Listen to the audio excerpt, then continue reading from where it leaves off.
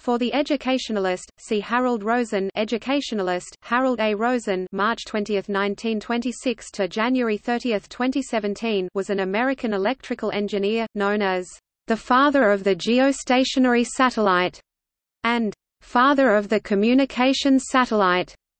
He formed and led the team that designed and built the first geosynchronous communications satellite, SYNCOM, for Hughes Aircraft Company. Topic career Rosen served in the U.S. Navy as a radio communication and radar technician during World War II. He graduated from Tulane University in 1947 with a Bachelor of Engineering degree in electrical engineering. He received his MS 1948 and PhD 1951 in electrical engineering from the California Institute of Technology. While still in graduate school, he began working for Raytheon, where he helped develop early anti-aircraft guided missiles, making many innovations in the fields of radar and missile guidance and control. After joining the Hughes Aircraft Company in 1956, and while he was working on the development of airborne radars, the world was catapulted into the space age by the 1957 launch of Sputnik, the world's first artificial satellite. At the same time, his department's most important program was cancelled. His boss, Frank Carver, challenged him to find a worthwhile new project that could keep the skilled staff gainfully employed. Stimulated by the possibilities of the new space age, Rosen wanted it to be some kind of space program. Because at that time international telephony was very expensive and hard to arrange, and transoceanic television was impossible, he decided it should be some kind of communication satellite since these problems could be solved that way. He began to research what kind of communication satellite system would work best for this purpose. At the time, Rosen was unaware of science writer Arthur C. Clarke's 1945 description of a geosynchronous satellite, but he was aware of the conventional wisdom regarding geostationary satellites, expressed most stridently by the highly regarded Bell Labs, at that time the world's leading communications R&D entity. In a March 1959 IA journal titled Transoceanic Communications via Satellites, written by John Pierce and Rudy Kompfner. They expressed the view that geostationary satellites would be too heavy to be launched by the rockets that were then available. And, even if geostationary satellites could be launched, their presumed complexity would prevent them from having a long enough lifetime to be commercially viable. Rosen, in reading their paper, felt otherwise. He reasoned that since Bell Labs designed communication equipment for ground applications, it had little incentive for keeping the weight down. Also, he was confident that his previous experience in guided missile design was more relevant for designing the control system for such a satellite and that the supposedly complex control system the authors claimed would be necessary would not be needed. Rosen had an epiphany when it occurred to him that if he used spin-phased impulses on a spin-stabilized satellite, he could have a simple, long-lived control system to go along with the satellite's lightweight electronics. He gathered a small team of gifted colleagues most notably, Don Williams, Tom Hudspeth and John Mendel to convert the concept into a design for a practical geostationary communication satellite system. The spin-stabilized satellite itself weighed only 55 pounds.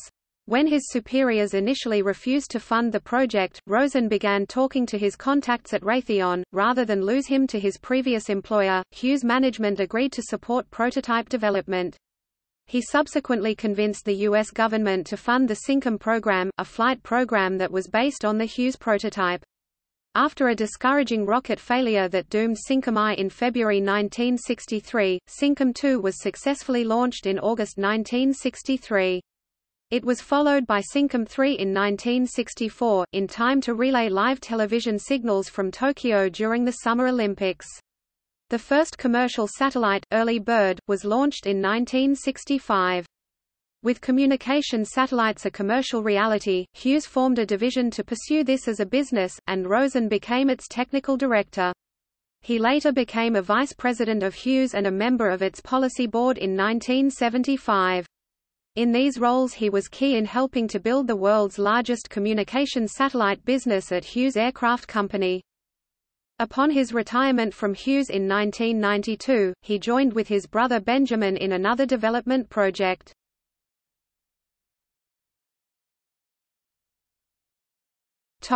Rosen Motors.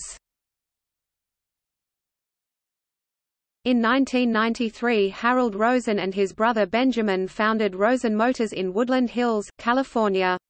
They developed a gas turbine-powered series hybrid automotive powertrain using a 55,000 revolutions per minute flywheel energy storage subsystem to provide bursts of acceleration to augment the turbine's more steady power output. The flywheel also stored energy through regenerative braking. The flywheel was composed of a titanium hub with a carbon fiber cylinder and was gimbal mounted to minimize adverse gyroscopic effects on vehicle handling. The prototype vehicle was a Saturn, modified to accept the new engine, flywheel unit. It was successfully road-tested in the Mojave Desert in January 1997 but was never mass-produced, when the automakers to whom it was demonstrated chose not to go with the flywheel technology. The company was dissolved in November 1997.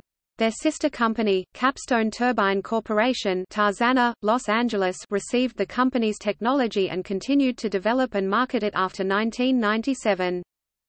After the closure of Rosen Motors, Rosen became a consultant for Boeing in the design of new satellite systems.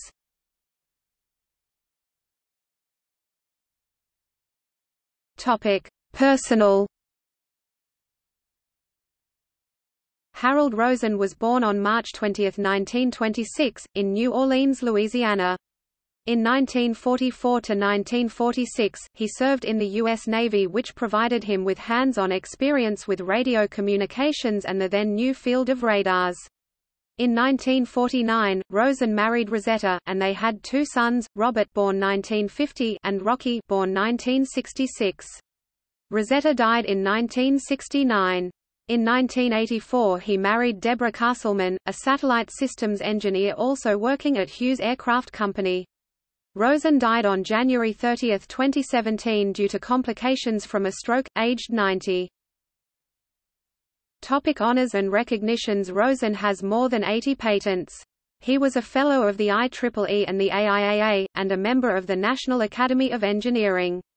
Rosen has received numerous awards which include, 1964 the Astronautics Engineer Award, awarded by the National Space Club 1968 First Aerospace Communication Award from the American Institute of Aeronautics and Astronautics AIAA 1973 the Spacecraft Design of the Award from the AIAA 1976 L. M. Ericsson International Prize for Communications, presented by the King of Sweden 1976 Lloyd V. Berkner Award 1976 Caltech Distinguished Alumni Award 1982 IEEE Alexander Graham Bell Medal 1985 National Medal of Technology 1985 NEC Communications and Computing Prize, in Japan 1987 inducted into the Society of Satellites Professionals International Hall of Fame 1990 Arthur C. Clarke Award, in Sri Lanka 1995 NAE Charles Stark Draper Prize 2003 inducted into the National Inventors Hall of Fame 2014 Philip J. Klass Lifetime Achievement Achievement Award, Aviation Week and Space Technology Magazine 2015 Robert H. Goddard Memorial Trophy, awarded by the National Space Club